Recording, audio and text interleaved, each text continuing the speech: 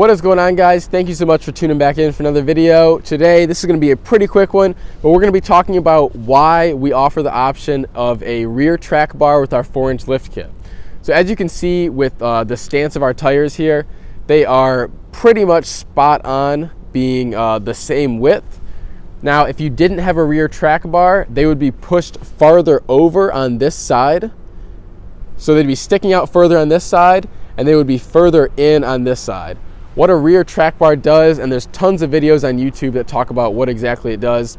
But because you have a fixed rear track bar from factory, it keeps your axle essentially in one spot underneath the vehicle.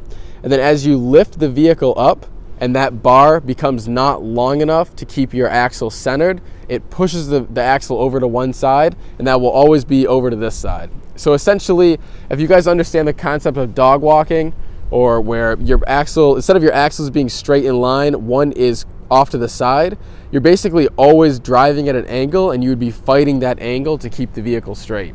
So this would cause issues with tire wear, uh, just regular drivability on the highway. Uh, obviously, once you get into faster speeds, you'll feel it more drastically because your vehicle will be trying to walk itself essentially to one side or the other. Um, it, it's a common thing where people think that their tires are out of balance or that they need an alignment, but it's actually because of the track bar. So make sure you're aware of that when you're lifting your vehicle. Uh, like we said with our 4-inch lift kit, we offer a uh, rear track bar with that. It's great. I think, believe it's 3 quarter inch chromoly. Uh, it's got very nice Heim joints on it. Uh, we highly recommend it. It's uh, equal to all the other track bars that are offered on the market. But make sure when you get our four inch lift kit that you consider getting that. I would definitely get it at some point. You don't have to order it uh, specifically with the lift kit.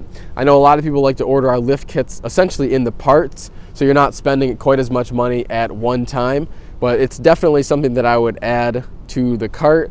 Uh, once you lift the vehicle, if you don't really understand it still after watching this video, once you lift the vehicle, and then uh, look at your rear axle and try to figure out why it's so far pushed to one side. It'll make a lot more sense if you then rewatch this video and you'll be like, oh, so that's what it does.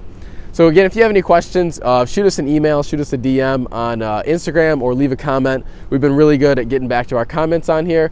So that's all I've got for you guys today. Make sure you check out our website, www.notrailrated.com. The link will be down below for all of your Jeep Grand Cherokee and Commander off-road parts. That's all I've got for you guys today. Thank you so much for tuning in. I'll catch you guys in the next video.